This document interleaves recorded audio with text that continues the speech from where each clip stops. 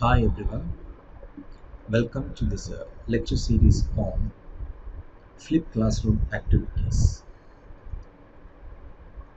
So we are all familiar with the term. What is a flipped classroom? A flipped classroom is an instructional strategy and a type of blended learning. It reverses the traditional learning environment. It's more learner centric so that the students are introduced to the learning material before class and within the classroom they're being used to deepen understanding through discussion with peers and problem solving activities facilitated.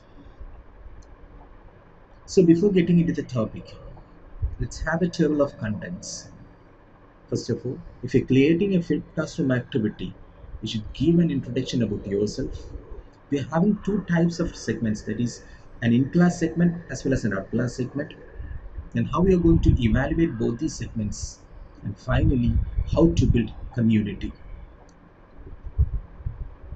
So here what i am trying to do is to create a flipped classroom constructor for the topic network topology that comes under the course computer networks.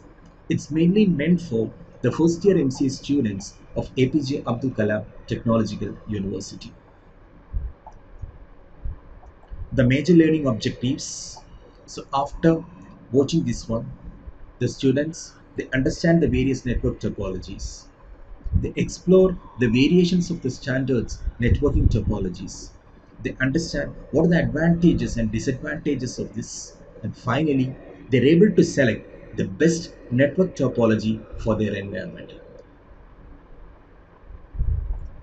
and for the outclass segment I'm preferring an NPTEL video, so you have to refer to www.nptelvideos.in for a computer networks HTML that's actually licensed by CC BY SA.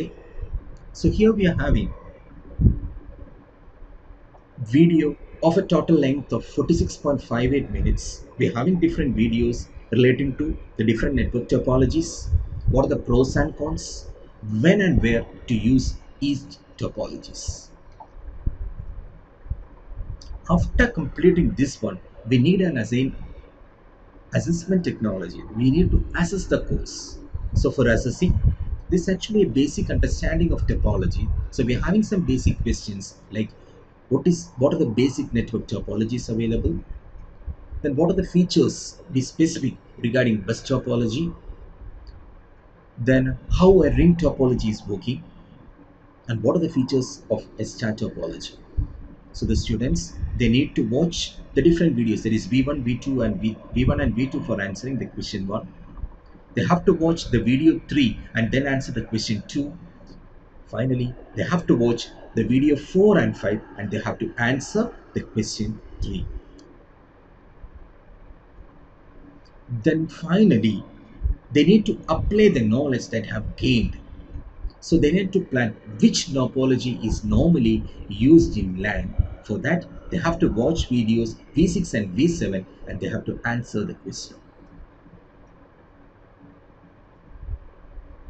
And they have to answer which topology is currently used in your computer lab. So it's a real world implementation of the network topology.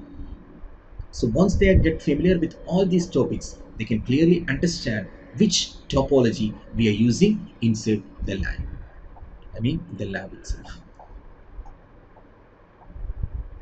So finally, we can say that at the end of the class or at the end of this course, the students they are able to analyze the different topology, they differentiate between these different classes, and finally they are having a finite knowledge regarding which topology to implement in the corresponding lab.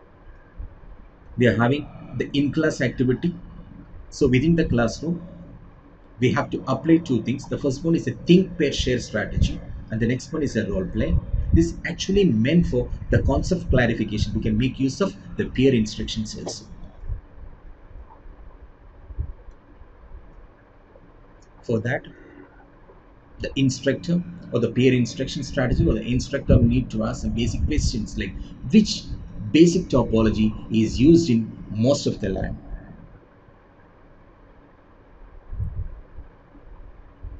Or you can ask, examine your computer science programming lab and identify which network topology is used and you have to justify your answer. For this TPS strategy, you have to think for two minutes. Then after that, you have to discuss with your peers. And finally, you have to share your opinion.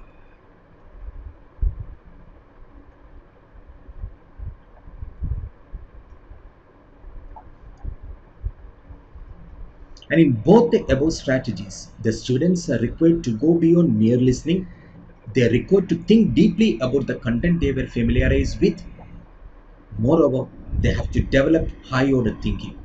So there is also a feedback provided through instructor's summary. Thanks all for watching this video. Thank you.